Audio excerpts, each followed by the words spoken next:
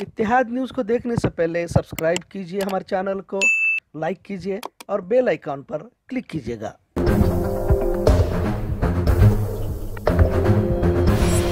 वालेकुम रहमतुल्लाहि वबरकातुहू। इतिहाद न्यूज़ में आप सभी का खैर मकदम है।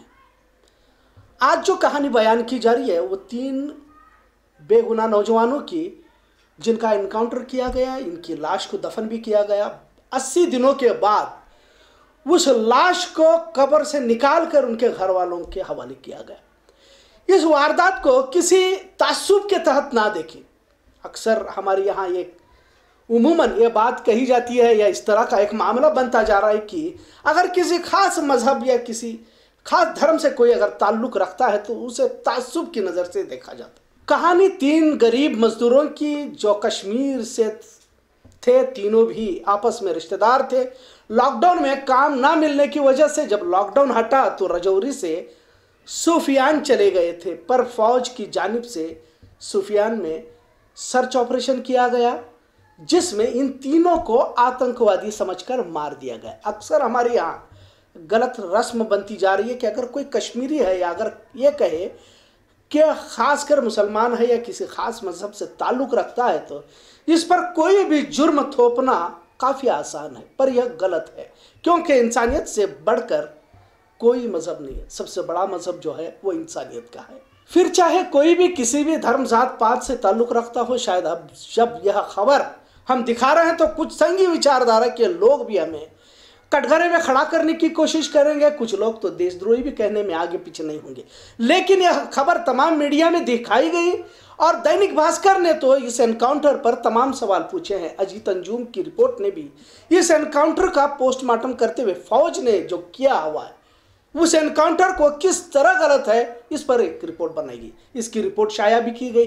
कहने का मतलब यह है कि आज भी कुछ ऐसे रिपोर्टर्स, ऐसी मीडिया है, उम्मीद कर सकते हैं कि उन लोगों से, कर सकते हैं कि जो हकीकत पसंद है और सच्चाई को दिखाने की ज़रूरत करते हैं। आखिर इस फर्जी एनकाउंटर को फौज ने भी कबूल किया है।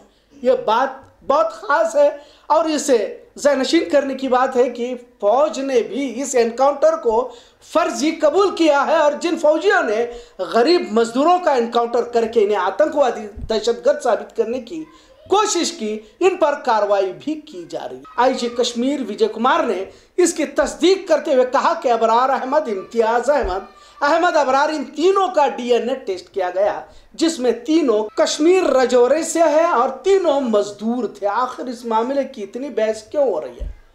खैर मेन स्ट्रीम मीडिया ने तो इस मामले को दिखाया नहीं है, लेकिन कुछ मीडिया ने इन तमाम मामलों को सामने लाकर सवाल खड़े किए। सवाल करना ज़रूरी है और ये हमारा संविधानिक हक है। आखिर क्या है ये मामला? हासिल इतला के मुताबिक, अबरार अहमद, इम्तियाज़ अहमद और अहमद अबरार, जिसमें एक की उम्र महज 16 साल की है, तीनों मजदूरी करके अपने घर का गुजारा करते थे।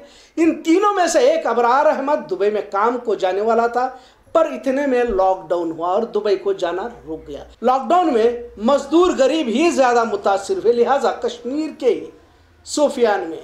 मजदूरी के लिए चले गए। अक्सर फौज की जानिब से सर्च ऑपरेशन किया जाता है। लिहाजा इन तीनों को फौज और सीआरपीएफ की टीम की जानिब से आतंकवादी बताकर गोलियों से भून दिया गया। तीनों को मारने के बाद मीडिया के ज़रिए खतरनाक आतंकवादी साबित करने की कोशिश की गई। इन्हें विदेशी आतंकवादी बताया गया।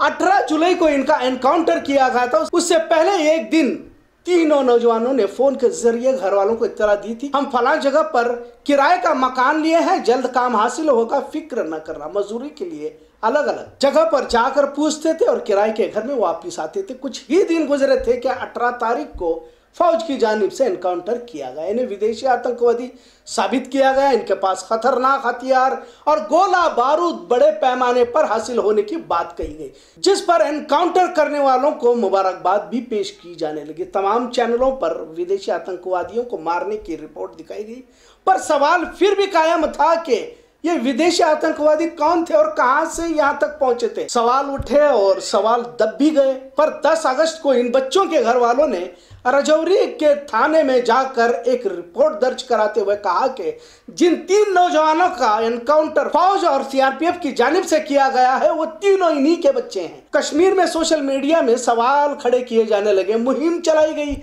मामले को बढ़ता देख जाँच का हुक्म दिया गया। कुछ दिनों बाद मालूम हुआ कि एनकाउंटर के जो उसूल होते हैं। फौज का अपना दा, कानूनी दायरा होता है। उसके खिलाफ वर्जी करते हुए तमाम इख्तियार की खिलाफ वर्जी करते हुए तीन मासूमों का कत्ल कर दिया गया है। इनकाउंटर फर्जी था जबकि इन तीनों को मारने के बाद मीडिया के सामने ये तीनों कितने खतरनाक विदेशी आतंकवादी थे कि कहानी बताई गई थी। लेकिन तहकीक के बाद फौज ने गलती को कबूल करते हुए जिन लोगों ने गोलियाँ चलाई थी, इन पर कानूनी कार्रवाई करने का हुक्म दिया।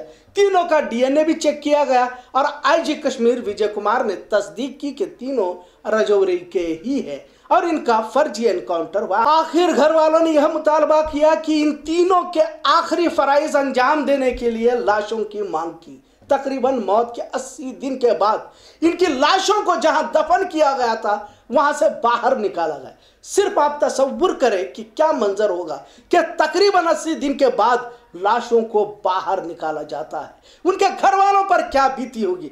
जिनका जिस्म किस तरह बिखरा होगा? क्या बचा हुआ होगा? लिहाजा जैसे भी था, इन्हें कपड़े में लिपट कर ताबूत में बंद करके इनके घर वालों को दिया गया। आखिर तीन तारीख को रजौरी के एक गाँव के कब्रिस्तान में तीनों को सुपुर्द खाक किया गया, जिन्होंने भी गोलियाँ चलाकर बेगुनाह तीन मजदूरों का कत्ल किया था। इन पर कार्रवाई तो की गई, पर सवाल यह उठता है कि यूँ बेगुनाह और कितने मारे जाते होंगे? कितने बेगुनाह आज भी कई जेलों में बंद हैं। सालों साल जेल की काल कोठरी में बेगुनाही की सजा काटते रहते हैं। लिहाजा ज़रूरी है कि सिर्फ़ गुनाहगारों पर कार्रवाई हो और जिस पूर्वाग्रह यानी जहनी तासुब से मुतासर होकर कार्रवाई की जाती है, इसे कहीं तो भी हम सबको मिलकर रोकना होगा, वरना यूँ ही बेगुनाह मरते रहेंगे। इतिहाद न्यूज़ देखने के लिए शुक्रिया। अल्लाह